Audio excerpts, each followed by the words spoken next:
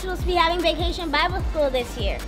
Yeah, I thought so too. With this coronavirus and social distancing, there's no way we could have vacation Bible school this year. Hmm.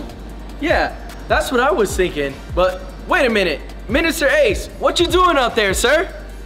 What? It's gonna be a party up in here. A party up in here. Nobody told y'all? Oh, we not gonna let the Rona stop us. It's still going down here at Rising Star.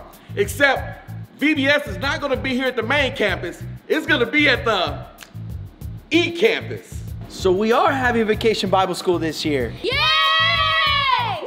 Woo! Vacation Bible School is not just for the kids, the adults too. We want to have fun too. VBS is not VBS without the crew. What it do, crew? Where we at? What? What about the adults? Don't make me get the team. Mama had it. Ooh, I don't know. Mama had it. Lord help. Bring it. That's what's up, y'all. Listen, VBS is gonna be lit. Make sure you invite a friend and tune in.